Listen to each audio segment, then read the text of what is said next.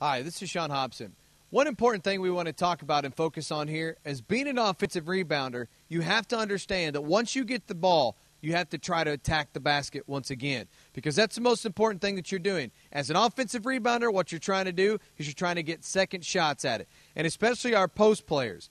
One thing that we've got to understand when you get an offensive rebound, you've got to keep the ball up because as soon as you get the rebound and you bring that ball down, there's going to be defenders that are looking to steal the ball.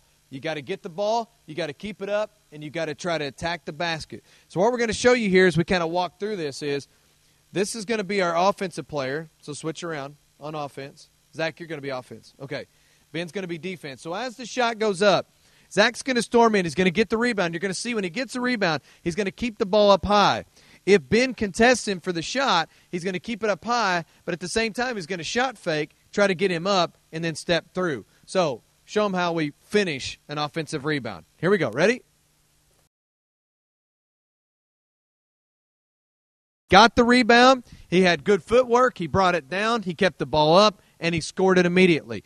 Offensively, you got to get that ball and go right back up with it and try to score it. That's your job. That's why you're there rebounding to give second chance shots and capitalize on every opportunity you get.